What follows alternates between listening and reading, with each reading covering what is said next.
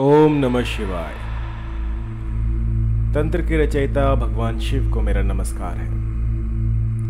तो अभी जो सावन चल रहे हैं, ये ऐसा पर्व है जहाँ पर कि वशीकरण का जो कर्म है, वो बड़ी आसानी से हो जाता है।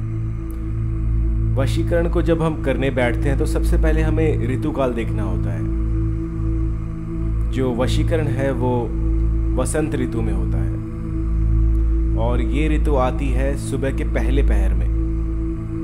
आप इसको कर सकते हो सुबह पाँच बजे से लेकर ग्यारह बजे तक। इस समय यदि कोई भी वशीकरण का प्रयोग किया जाए तो निश्चित ही सफलता को प्राप्त होता है।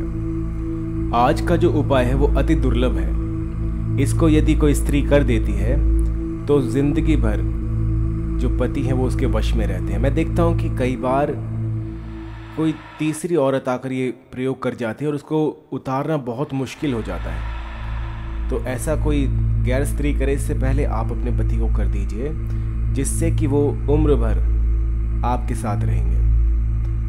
तो सिर्फ़ आपको इतना करना है कि एक भोजपात्र लेना है, उसके पीछे अपने साथी का नाम और अपना नाम लिखना है।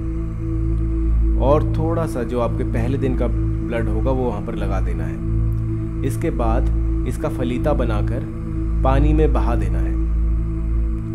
जैसे ही ये आप पानी में बहाओगे, आपका प्यार, जो भी आपका बॉयफ्रेंड है या फिर जो भी आपका पति है, वो व्याकुल हो जाएगा। ये इतना तीव्र होगा कि इसको सहने की क्षमता बड़े से बड़े पत्थर दिल में भी नहीं होगी। एक बार ये उपाय जिस पर कर दिया और ये लग गया, समझिए उम्र भर के लिए वो आपका गुलाम बना रहेगा। अगर इसके बारे में कोई भी दिक्कत आए या परेशानी आए तो मुझे कॉल कीजिएगा। Triple nine two eight four सोलह पच्चीस। धन्यवाद।